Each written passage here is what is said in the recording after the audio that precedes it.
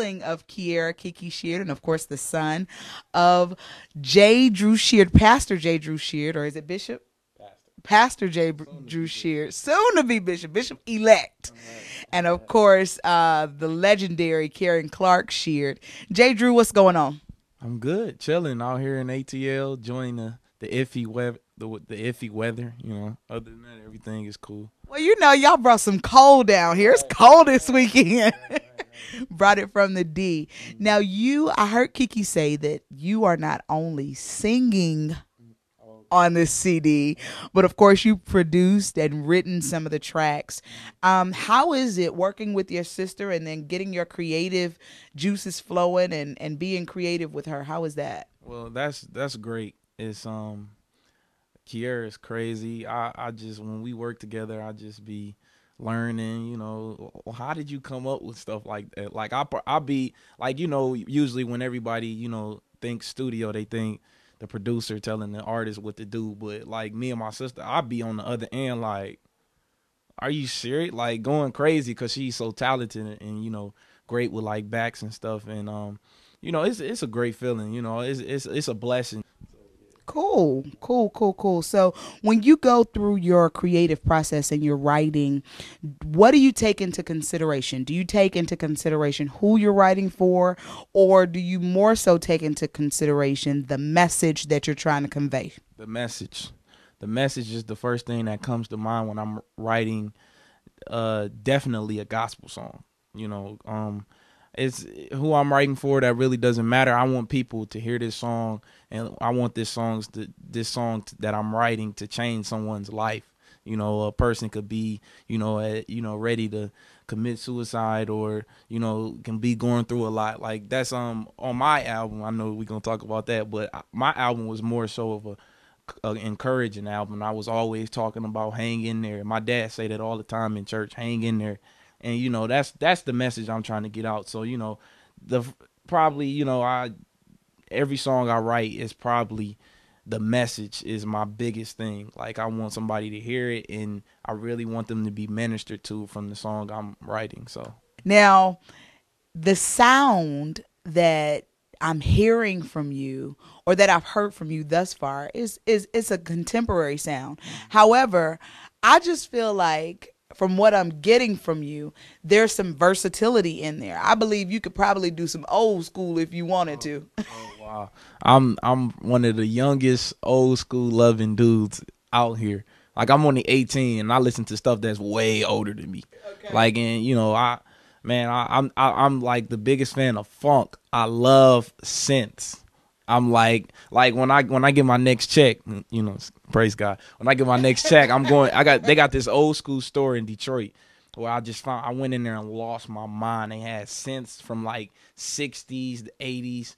I was just going crazy. But yeah, like I, I do listen to a lot of old school and you know, mix that with um, you know, some of the new school stuff, like some of my favorite producers, you know, Timbaland, Pharrell, Kanye, you know, um, you know, it's a lot of Tye Tribbett. Like that's one of my favorite producers. Of course, my cousin Jay.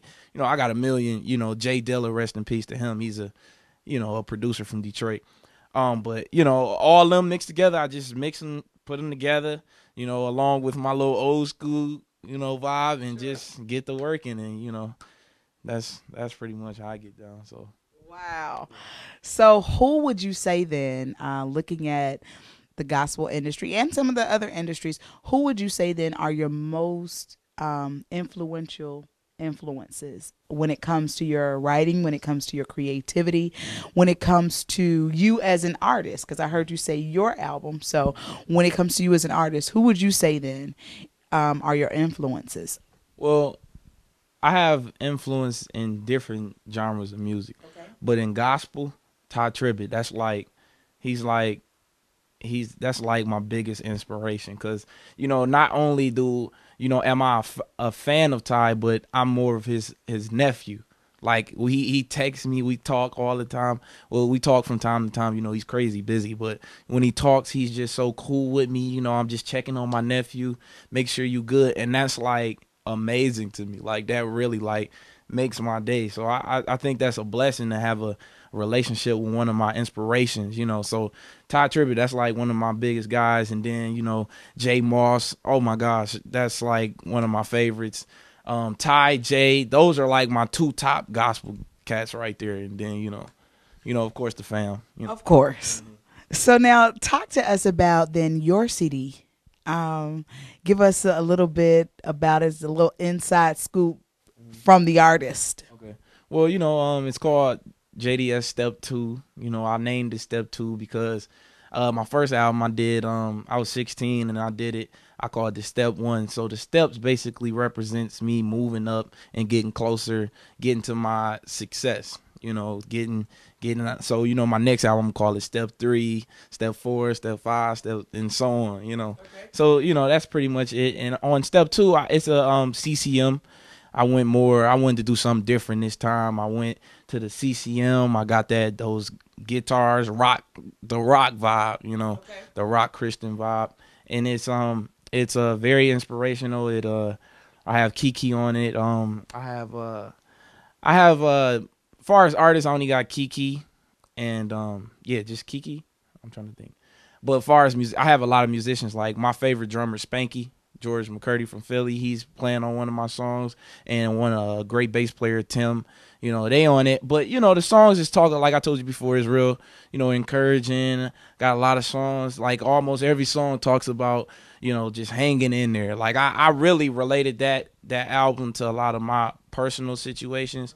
You know, I, me growing up, I had a lot of people, you know, boxing me in, you know, because of my the Clarks and you know all that. People was just hating on me and running their mouth about me. So, you know, I just kind of, you know, said, look, I've been through this situation, so I'm going to tell you how I handled it. And hopefully, it, when, me telling you how I handled my situation when I was getting punched in the face and kicked on, you know, hopefully it ministers to you. So that's pretty much how step two is. It's just a big encouraging album. So when you when you going through some situations and you feel that God is not listening to you or paying you no mind, put that in and it just shows you all it just is gonna really encourage you. So So where can they cop that? Where can they get it? iTunes. We sold out of hard copies. I only ordered 500 copies, and we sold out. You know, thank God.